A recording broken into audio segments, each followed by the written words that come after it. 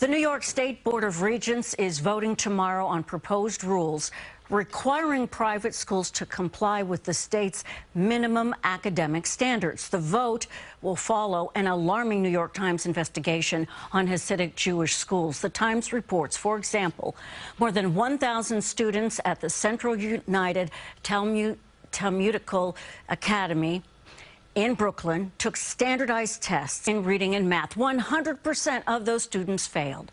The report underscores a years long tug of war between proponents of Jewish religious education and those who feel there should be a secular component of basic non religious education.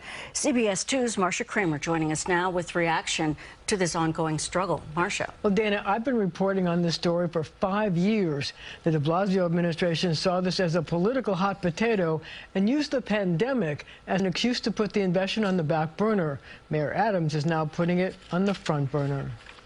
I want a thorough investigation. I want an independent review. Mayor Adams talking about stunning findings by the New York Times that the vast majority of students at New York yeshivas are unable to pass standardized tests given to public school students. 99% of the thousands of Hasidic boys who took the standardized test in math and English in 2019 failed. 80% of Hasidic girls failed. The findings come as the State Board of Regents met today to discuss a new regulation in which Hasidic schools, yeshivas, could lose public funds if they fail to provide students with a basic secular education. The ruling is expected tomorrow and could mean the loss of $1 billion in funding over five years for the state's 160 yeshivas, 102 of which are in New York City. The chancellor has made it clear uh, that we're going to make sure every child receives a quality education in the city. The Board of Regents ruling follows a politically charged debate touched off when young advocates for fair education filed a complaint with the city that dozens of yeshivas were graduating students who couldn't read and write English. The group's then executive director, Naftuli Moster, told me in 2017 that he was a victim of poor secular education in Hasidic schools. In elementary school and some of middle school, we received approximately 90 minutes of secular education. In high school, we got no secular education at all. Ari Hershkovitz telling me in 2017 he had to teach himself to read and write after attending a yeshiva in Williamsburg. I left school when I was 18.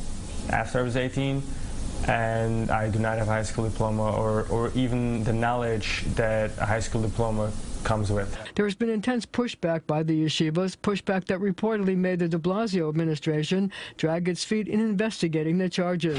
A spokesman for the yeshivas telling CBS 2 they oppose the regent's ruling. Parents in New York have been choosing a yeshiva education for more than 120 years, a spokesman said, and they are proud of the successful results and will continue to do the same with or without the support of state leaders in Albany.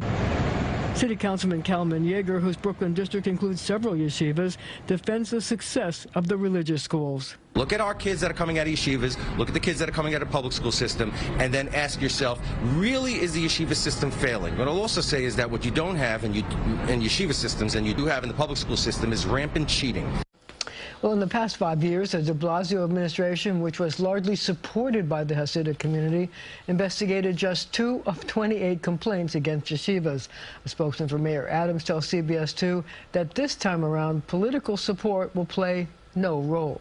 Dana? The vote tomorrow in Albany anytime? I hope it's in the morning. I mean, it depends on how many people want to speak. This is so personal and obviously so important, the education of children. Thank you. Thank you. Stay with CBS 2 and CBS New York for continuing coverage on this story and the Board of Regents vote. For a link to the New York Times article, head to our website, cbsnewyork.com.